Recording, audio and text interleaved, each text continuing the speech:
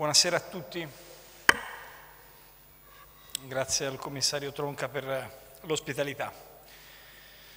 Sono trascorsi ormai dieci giorni dai tragici fatti di Parigi, eppure nelle discussioni quotidiane, in famiglia, sul lavoro, tra gli amici siamo in tanti ancora a riflettere sul senso profondo di ciò che è accaduto.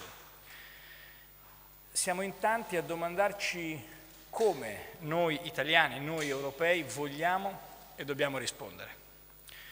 Ho scelto di essere qui oggi. Ho scelto di essere qui per dire che cosa pensa il governo italiano, che cosa fa il governo italiano, che cosa farà il governo italiano. In un luogo che è un luogo storico per la città di Roma, ma è un luogo storico non soltanto per la città di Roma, è un luogo storico per l'Italia, è un luogo storico per l'Europa intera. Qui 58 anni fa si scelse di firmare i trattati istitutivi della comunità europea. Qui è nata l'Europa, qui si è come siglato il certificato di nascita. È dunque questo il posto giusto per chiedersi come vogliamo risvegliare il senso e significato profondo della sfida europea. Oggi rischiamo che gli atti di Parigi, che i fatti di Parigi, che gli eventi di Parigi lasciano l'Europa come vittima collaterale. Oggi le istituzioni comunitarie corrono il rischio di essere percepite soprattutto come uno strumento burocratico, mentre noi siamo convinti che l'Europa sia e rimanga la più grande conquista di pace e di libertà mai fatta da popoli e da nazioni diverse.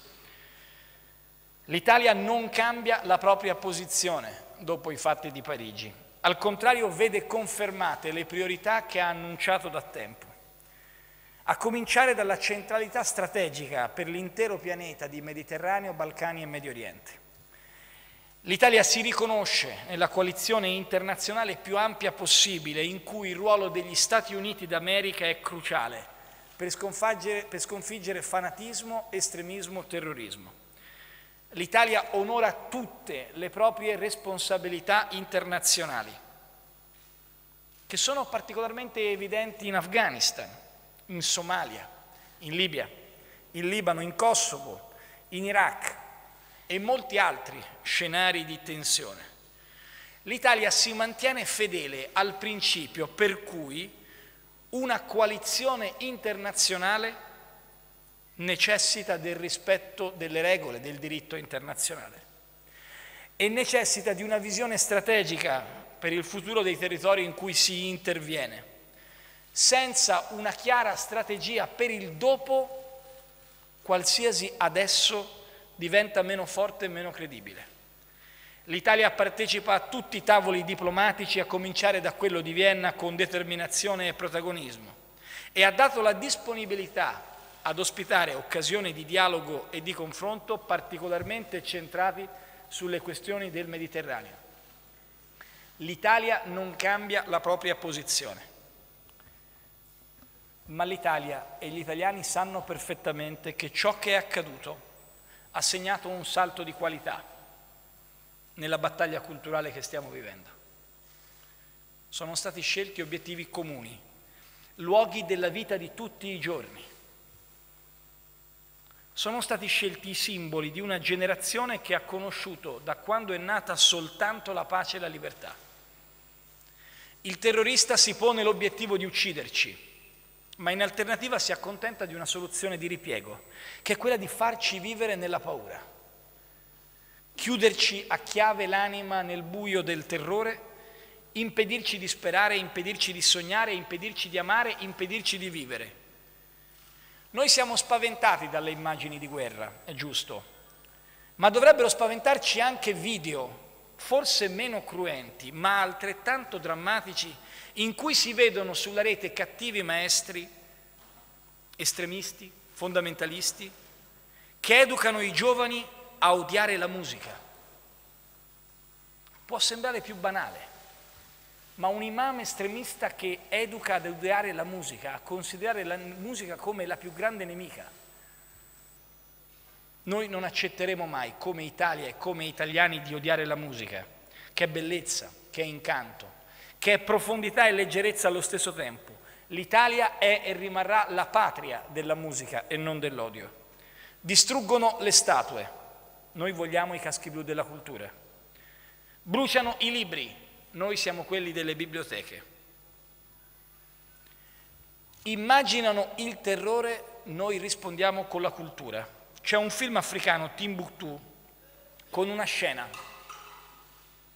che giudico impressionante.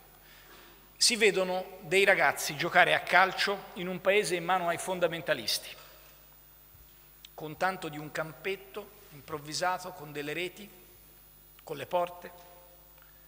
Ma quei ragazzi nella scena del film giocano a calcio senza pallone perché il pallone è stato bandito. Gli integralisti odiano anche un pallone, odiano il calcio, odiano l'allegria. La risposta che l'Italia deve dare oggi a costoro è molto semplice. Noi non cambieremo mai il nostro modo di vivere. Noi non rinunceremo mai ai nostri valori. Noi non ci rassegneremo al terrore.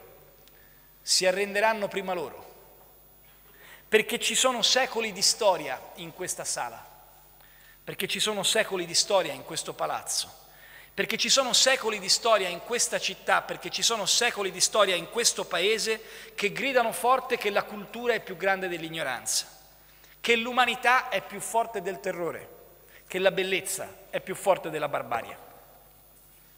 Può sembrare il giorno sbagliato per dire questo oggi, perché proprio oggi l'Italia piange una sua figlia, Valeria morta mentre andava a un concerto, uccisa in un teatro con altri ragazzi della sua generazione, tristemente nota come generazione Bataclan.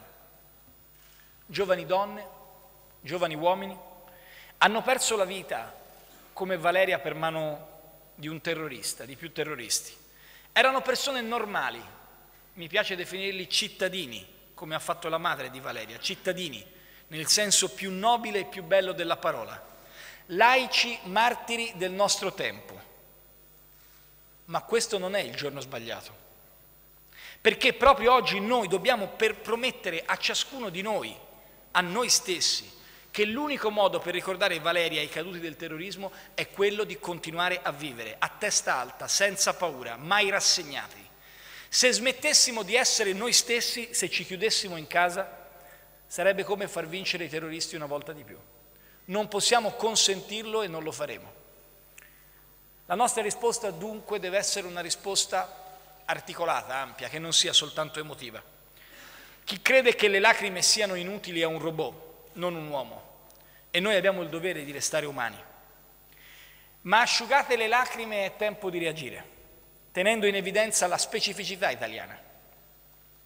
Il pensiero dell'Italia, che risuoni forte in tutta Europa e nel mondo, è questo. Per ogni euro in più investito sulla sicurezza ci deve essere un euro in più investito in cultura. Non può essere solo securitaria la risposta dell'Italia. Non saremmo più liberi se ci chiudessimo nel buio sottoscala delle nostre paure. Occorre investire in sicurezza, certo. Occorre sconfiggere la paura. Senza paura non c'è libertà. Ma contemporaneamente occorre ricordarsi chi siamo e dunque investire in innovazione, in cultura, in sport.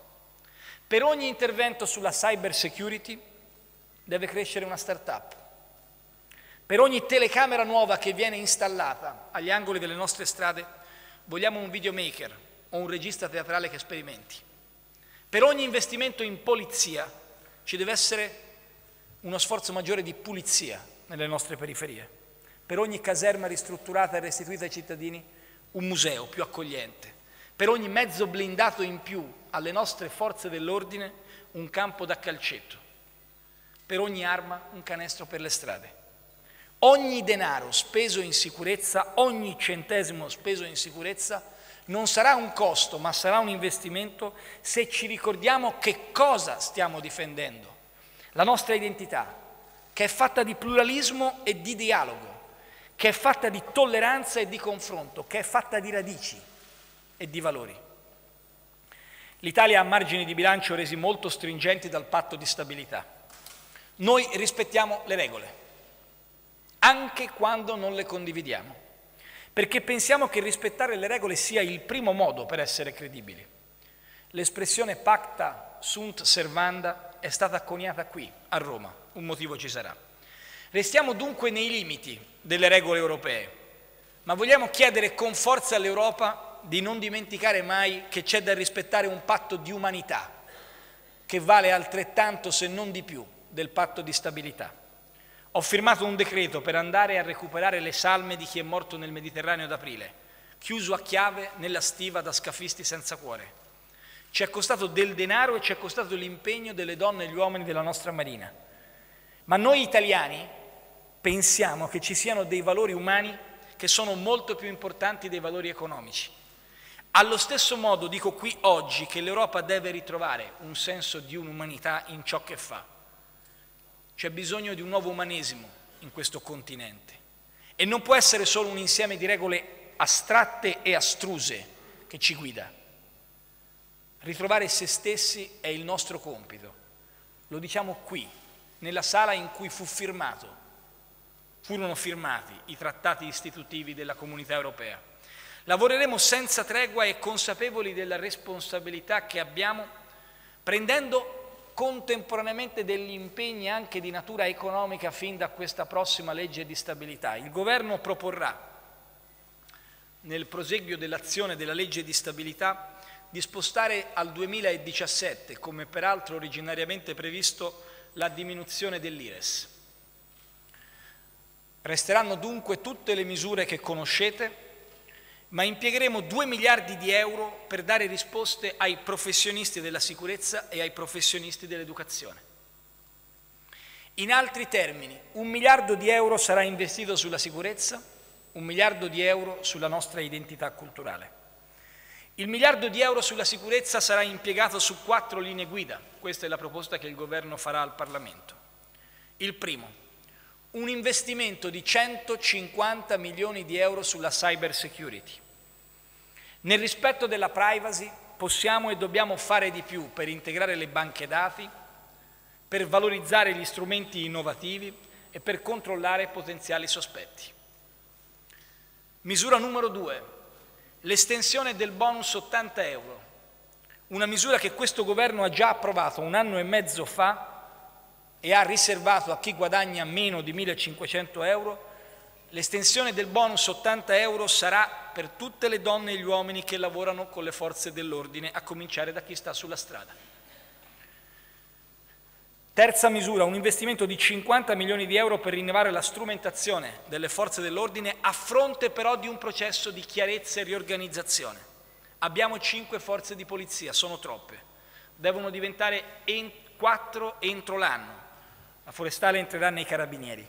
Abbiamo troppa gente nei palazzi romani, negli uffici dei palazzi romani. Chiederò con forza ai comandanti di aumentare la presenza in strada. Abbiamo troppo patrimonio pubblico non utilizzato, caserme abbandonate o semi-occupate che vanno restituite rapidamente alla fruizione anche attraverso processi innovativi di valorizzazione urbanistica. E infine 500 milioni di euro per la difesa italiana con investimenti efficaci finalizzati a dare una risposta immediata alle esigenze strategiche, non quelle quotidiane e organizzative. Siamo orgogliosi dei nostri militari, non faremo mai mancare loro il nostro sostegno. Fedele al principio italiano, tipico della specificità italiana, per cui ogni centesimo sulla sicurezza chiama un centesimo sulla cultura, impegneremo un altro miliardo sulle linee guida della cultura e dell'identità. La prima delle quattro linee guida sulla cultura e l'identità, 500 milioni alle città metropolitane per progetti di intervento sulle periferie, con iniziative di riqualificazione e utilizzo una parola di Renzo Piano, di rammendo. Questi progetti dovranno essere presentati entro il 31 dicembre di quest'anno e dovranno essere spesi nell'anno solare 2016. Secondo punto,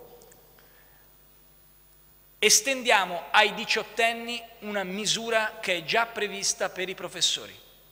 Da quest'anno, come sapete, abbiamo istituito un bonus, una carta bonus per i professori italiani di 500 euro annui per consumi di natura culturale. i 550.000 italiani che compiono 18 anni tutti gli anni riceveranno questa card. Potranno cioè investire in teatro, museo, concerto un piccolo bonus che diventa simbolicamente il benvenuto nella comunità dei maggiorenni, ma soprattutto che diventa simbolicamente il modo con il quale lo Stato ti carica di una responsabilità, essere protagonista e coerede del più grande patrimonio culturale del mondo. Questa spesa sarà soltanto per iniziative di natura culturale. 50 milioni di euro, terza linea guida, andranno al diritto allo studio e alle borse di studio. Chi è meritevole di studiare non può essere bloccato per questioni di reddito.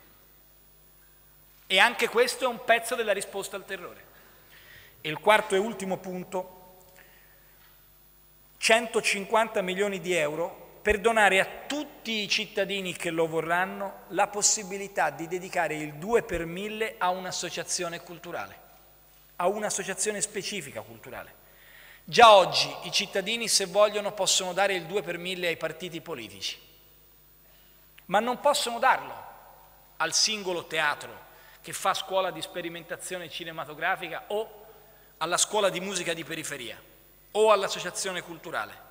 Ciò che è possibile per i partiti sarà possibile anche per le realtà della cultura. Abbiamo bisogno di ritrovarci, abbiamo bisogno di riconoscerci. Sono venuto in questa sala per ricordare a me stesso qual è il compito dell'Europa. L'Europa è nata in questa sala così bella, ma l'Europa si riunisce oggi in dei palazzi delle istituzioni che sono in linea d'aria lontani appena due chilometri, due chilometri e mezzo dal quartiere Molenbeek, così tristemente noto in queste ore.